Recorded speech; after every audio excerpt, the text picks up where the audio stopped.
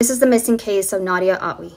Nadia, of 32 years old, was reported missing on December 8, 2017, after she didn't show up for work at an elementary school where she taught kindergarten. Nadia's car was found in a ditch in Rundle Park later that day with her cell phone and a single shoe nearby. In the weeks and months that followed, Nadia's family and friends scoured the city. They organized search parties, held vigils, posted flyers, and handed out custom window decals with Nadia's picture.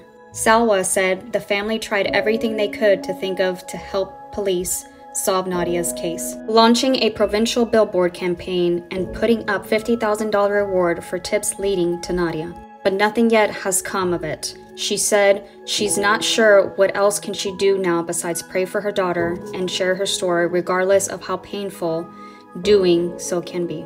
Salwa said during a recent TV interview with CVT News Edmonton, does a mother need to tell you how hard it is when your child goes missing?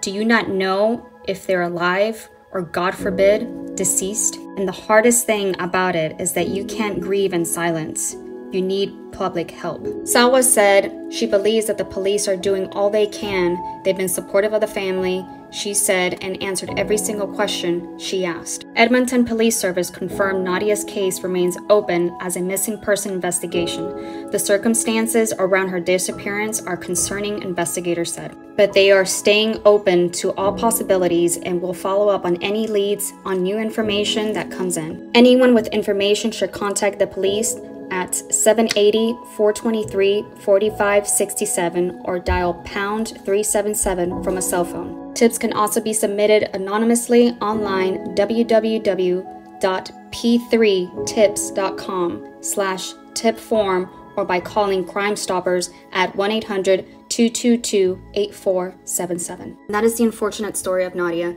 Guys, if anyone sees this video that knows anything or that knows anybody that may know something, please speak up.